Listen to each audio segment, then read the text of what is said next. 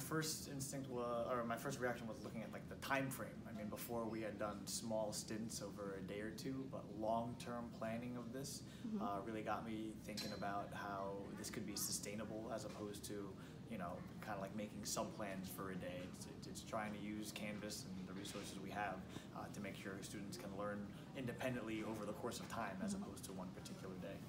Uh, I think knowing that other schools and districts are doing it as opposed to this is something that only Valley does is going to help kids kind of get their butt in gear. Like, why is my school making me do this?